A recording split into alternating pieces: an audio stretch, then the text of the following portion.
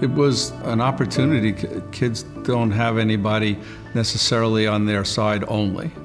Everybody in the system has their own vested interest, as they should, but sometimes the vested interests can compromise what's best for the child inadvertently or intentionally.